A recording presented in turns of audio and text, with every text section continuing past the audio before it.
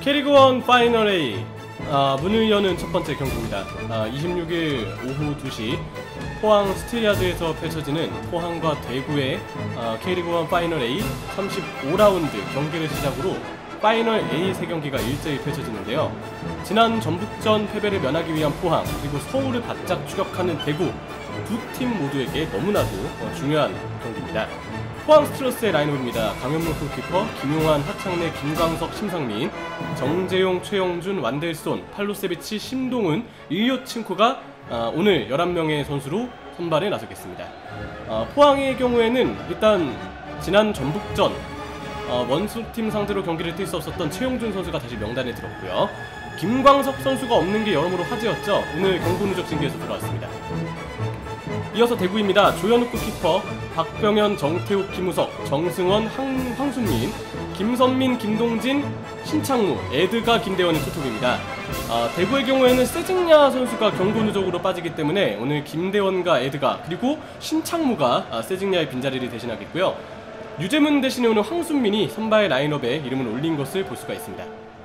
자, 일단 대구가 먼저 포항의 골문을 위협합니다. 김동진, 김선민. 자, 왼쪽에서 패스로 풀어가는 대구입니다. 김선민, 이어서 황순민에게. 자, 에드가가 잘 돌아줬고요. 김대원 슈팅! 골대!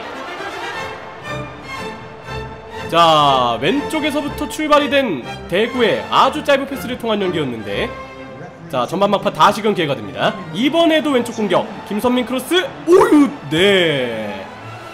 자 하창래 처리가 자칫하다가는 지금 자책골로 좀 연결이 될 뻔했고요 그만큼 오늘 왼쪽을 기반으로 한 대구의 빌드업이 상당히 좋습니다. 자 이렇게 전반전 마감됐습니다. 전반전은 대구의 일방적인 페이스로 0대0 아, 무승부로 일단 종료가 됐는데요. 자 기록상 보시듯이 포항은 한 번도 슈팅을 시도하지 못했고 대구가 워낙 일방적으로 전반이 쓰여있기 때문에 0대0의 결과가 조금 더 원정팀 대구에게 아쉬울 듯합니다. 자 포항도 후반전 반등이 좀 필요한데요 자 마찬가지로 대구 진영 왼쪽을 노립니다. 심동운 들어가고요. 심동운 골대! 자 near post 쪽. 어 근데 심동운 머리가 어.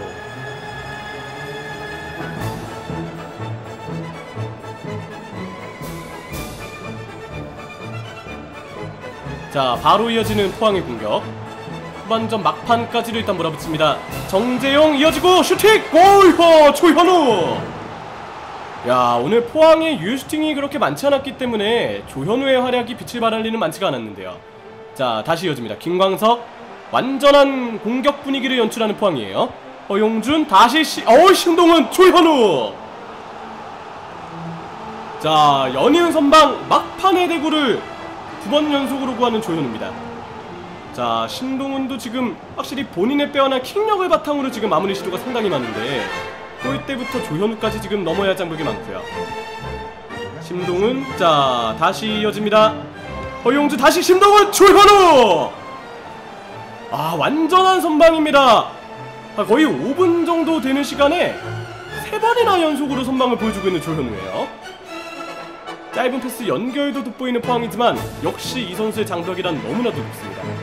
자 이렇게 어, 포항과 대구의 파이널 A 첫 경기는 0대0 승부로 종료가 됐고요. 자 뒤를 이어서 경기를 치르게 될 서울 입장에서는 대구가 비긴 결과가 상당히 반가울 거예요. 네, 뒤이어서 4시에 펼쳐지는 전북과 서울의 어, 전주성에서 펼쳐지는 파이널 A 35라운드 26일 토요일 두 번째 경기입니다. 아, 대구가 비긴 상황이기 때문에 서울로서는 3위 자리를 수성하기 위해서는 무조건 승리가 필요하고요. 어, 전북도 지금 울산의 추격을 계속해서 이어나가고 있는 상황이죠. 전북의 라인업입니다. 송범국 골키퍼, 이주용, 홍정우, 권경원, 김진수, 신영민, 문선민, 한승규, 이승기, 이어서 로페즈와 이동국이 출전합니다. 어, 전북의 경우에는 최철순과 이용이 지금 모두 부상이죠. 그래서 이주영 선수가 지금 오른쪽 풀백으로 나와 있는 것을 볼 수가 있고요. 어, 지금 한교원과 호사도 부상인 상황에 손준호도 오늘 경고 누적으로 빠졌습니다. 그래서 오늘은 저 한승규 선수도 미드필드 라인 명단에서 볼 수가 있고요. 이어서 FC 서울입니다. 유상훈 골키퍼, 이웅희, 정현철, 황현수, 오스마르, 윤종규, 고요한, 이명주, 고광민, 이어서 박동진과 박주영이 투톱으로 나서겠습니다. 서울의 경우에는 알리바예프와 주세종이 징계로 못 나옵니다. 페시치와 조영욱이 여전히 부상이기 때문에 경고 누적에서 돌아온 박동진과 이웅이 아, 이 선수들이 일단 선발 라인업에 일단 복귀가 됐고요. 그래서 오스마르가 지금 미드필드에 올라가 있고 네 어, 황현수 선수가 오늘 왼쪽 스토퍼로 나온 것이 특징입니다.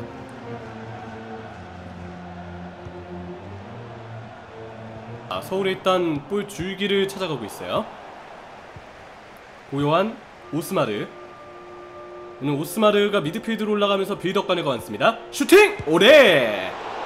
자, 박주영 왼발 슈팅. 송범근 골키퍼가 또 막아내면서 어, 이 경기도 어쩌면 0대0이 됐지. 자, 박주영의 슈팅 폼이라고는 사실 위화감이 좀 없진 않은데 어쨌든 분위기를 가져올 만한 아, 좋은 슈팅 시도였습니다. 자, 박주영은 지금 서울의 세트피스를 매번 전담하는데요. 높이 올려줍니다. 자, 바로 가죠! 헤드웨영! 다시 한 번! 네!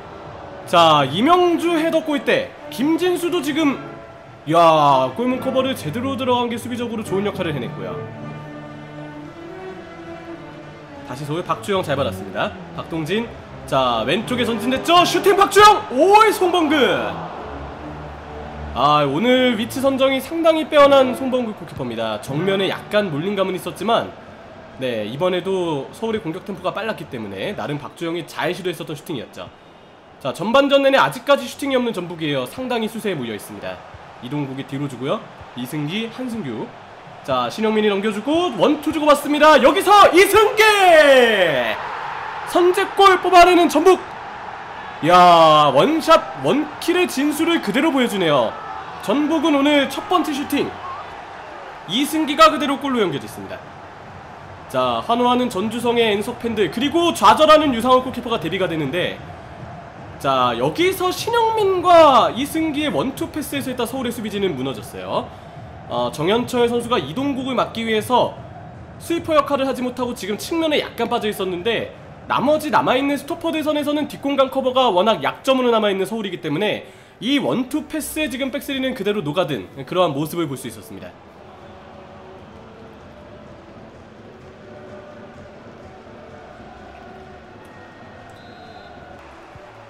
자 서울이 반격에 나서는데 네 후반 들어서 오히려 전북이 공세에 많이 좀 밀리는 모양새였어요. 고강민 아하. 이 태클은 카드가 나와도 지금 무방하죠. 네 사실 글쎄요 건경원 선수가 지금 시도한 태클에 조금 아쉬움은 좀 있는데 고요한이 준비합니다. 자 이번에도 높이 처리하는데 네 목적지를 잃고만 지금 서울의 프리킥이고요 고강민 자 고강민 자 어디 가나요 고강민 어 여기서 뒤로 주네요 아, 때 아닌 역주행. 자, 공간 있습니다. 슈팅 골! 인규의 독점골! 야, 두 경기 연속골의 신화를 쓰고 있는 신의 이인규. 아, 서울의 확실한 수호신이 되고 있는 이인규입니다. 자, 교체 티 때면서 최용수 감독의 용병술이 그대로 빛이 발했는데 자 역주행이 되지 않을까 싶었는데 여기서 전북 수비 라인이 약간 따라 나왔어요. 그리고 이 장면은 이인규의 장점이 분명 많이 묻어났던 그 장면입니다. 어, 수비수의 시야를 벗어나는 움직임이 일단 좋고 지금도 잡지 않고 그대로 때렸는데 슈팅을 시도하는 부분에서 굉장히 간결하다라는 부분이 좀 눈에 띄어요. 4년 전 윤주태, 3년 전 윤승원이 있었다면 이제는 서울한테 이인규가 있습니다 자 이렇게 전북과 서울의 경기 1대1로 종료가 됐는데 어, 서울로서는 대구가 앞서서 비긴 상황 어쩌면 3위 자리를 조금 더 굳건히 지킬 수도 있었겠습니다만 아, 무승부를 통해서 일단 아쉬운 결과를 좀 받아들이게 됐고요. 전북의 경우에도 지금 울산을 추격해야 되는 상황에 승점 1점은 너무나도 불만족스럽죠. 바로 이때 이어서 이제 울산이 K리그1 파이널 A 35라운드의 마지막 경기를 치르게 됩니다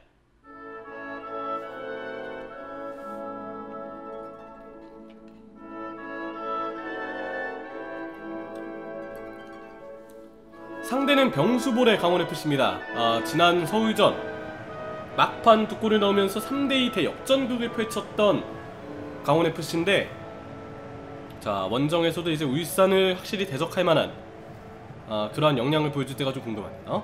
울산입니다. 김승규 골키퍼, 김태환, 윤영선, 부이투이스, 이명재, 박용우, 믹스, 김인성, 이동경, 이근호, 최전방에는 주니우 선수가 오늘 선발 라인업에 낙점을 받았습니다. 자, 울산의 경우에는 오늘 김보경 선수가 경고 누적으로 빠집니다.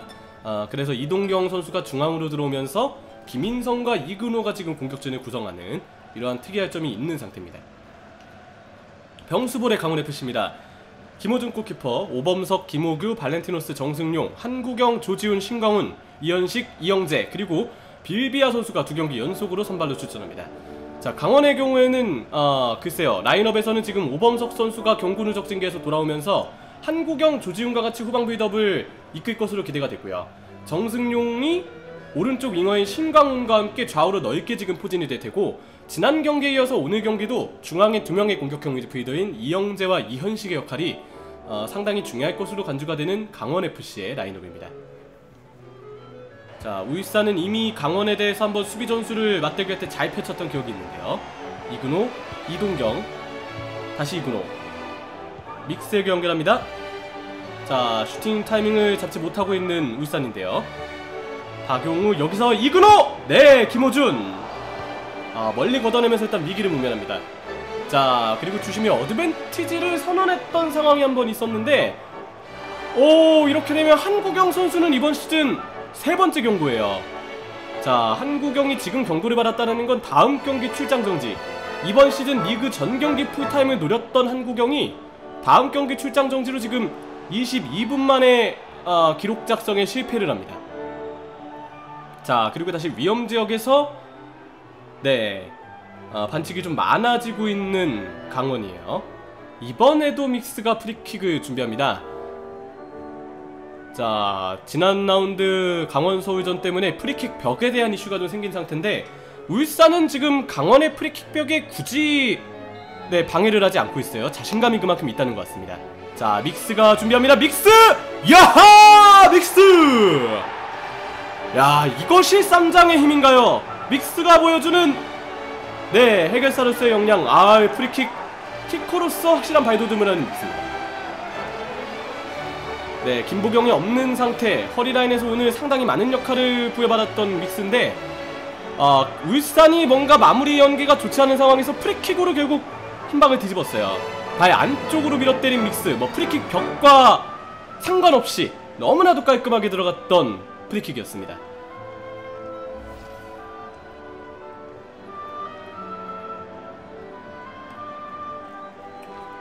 자, 강원도 이제 반격하는데요. 신광훈의 돌파로 지금 네 오른쪽에서 출발하는 일이 많습니다. 쭉쭉 달리는 신광훈이고요. 자 빌비아 넘겨줬고 이현식 네. 야 앞서서 신광훈한테 후방 패스를 줬던 선수가 이현식인데 단번에 올라와서 기회를 포착했죠. 울산이 아직 이 강원의 두 명 공격형 밀필드를 잘 억제하고 있지 못하, 못합니다만. 네 마지막 기회고요. 박정인! 아하 여기서 조금 어이없는 실수. 자 그래도 무난하게 울산이 경기를 이깁니다. 아 최종 스코어 1대0 네 울산이 승리하면서 전북하고의 승점 차를 따돌리고 아 보다 더 1위 자리를 굳히게 됐네요. 35라운드가 끝난 상황에서 전북하고의 이 정도의 승점 차라면 꽤 의미가 있어요. 오늘 결승골을 넣은 믹스 덕분에 울산 현대가 K리그1 트로프에 한 걸음 더 가까워집니다.